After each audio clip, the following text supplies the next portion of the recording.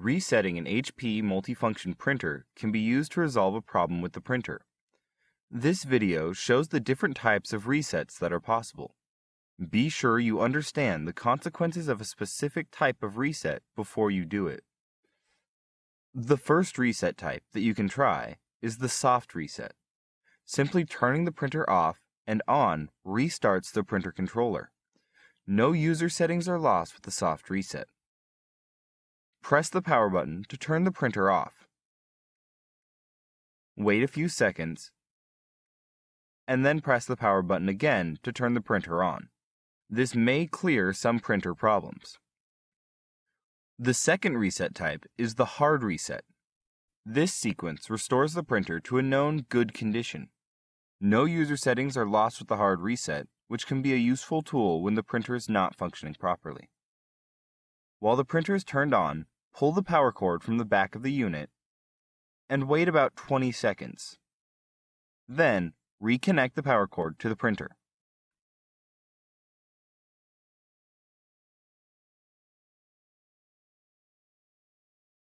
Turn on the printer again with the power button.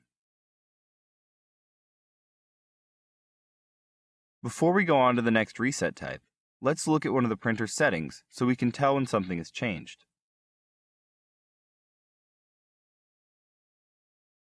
In the fax setup section, the rings to answer setting has been set to a different number, maybe to accommodate an answering machine on the same phone line as the printer. The third type of reset is called the partial reset. This type of reset changes all user menu settings to the factory defaults, clears the fax memory, and may clear any saved telephone numbers. A partial reset also makes you enter the country and language again when the printer is restarted. The way you perform a partial reset depends on the type of printer. For the printer shown, first unplug the power cord from the back of the unit while the printer is powered on. Then wait about 20 seconds. Then press and hold the pound and number 3 buttons on the control panel. At the same time, reconnect the power cord to the printer. Release the pound and number 3 buttons after the printer starts up. The printer displays part NVM reset on the control panel on the printer. The printer makes some noises as it prepares itself for use.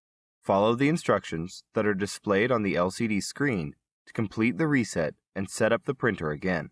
These instructions may include loading plain, white paper into the main input tray for an alignment.